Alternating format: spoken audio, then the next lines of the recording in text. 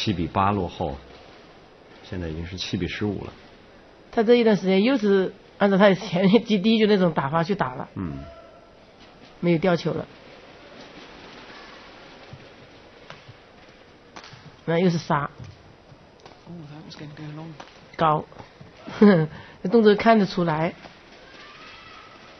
你看一掉失误了，那他的动作就是人家看得出，所以就是说他这种双脚起跳是是一种.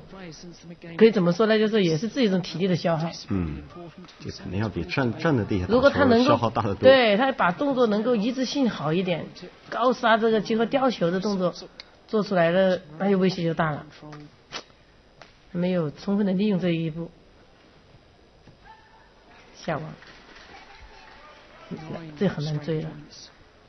十七比七的，十分的分差，叶佩妍的教练应该是非常的郁闷。他这没没用了，这讲也没用了。嗯，运动员在场上给我的感觉，他就说整个都是懵的了，他就只会在高手杀球、推球这样，你看到没有？越打越着急，哎，越打越着急。拼命的就想把这个球压下来。对，你看，老是 彭吉在那里不慌不忙的，你来吧，来了，我顶你两拍，你稍微质量不好，我再来下压一下，嗯吊一下，你看，点一下，你看这个叶.佩妍很被动，是八比七了，应该是没有希望。但是按照这个大比分二比二的这个局势来讲，这个彭迪显得比他要水平要高一点啊。他们胜负不是二比二吗？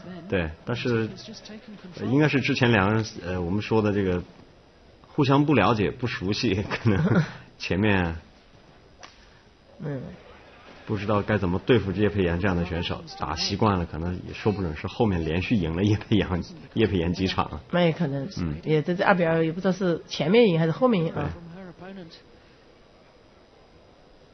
至少彭提给我们的感觉，在打叶佩妍的时候，好像感觉还是呃非常心里有数这样的人。不不急不忙的，嗯，打起来根本就不慌。界外。导致感觉到叶佩元在场上不知道怎么去组织这个球路打对方.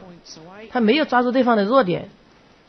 呃，也跟刚才说一样的，就是说他没有这个吊球他调动不了对方而且对方把他的这个高杀守得很死的。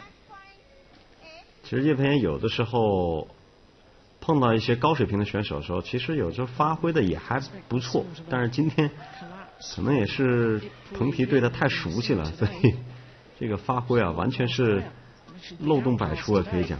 而且自己全部是自己的失误，对干脆感觉就是想放弃这个比赛。二十一比八.这比分很低啊。嗯，二十一比十三，二十一比八，泰国的彭提战胜了中国香港的叶佩妍，那么彭迪进入了明天的决赛。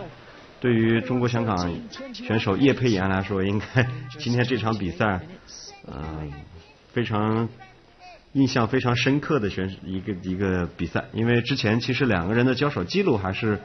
啊，不管是什么时候赢，什么时候输，至少是二比二一个平局。但是从今天的比赛来看，呃，至少彭提的这个水平已经是在叶佩妍这个之上了。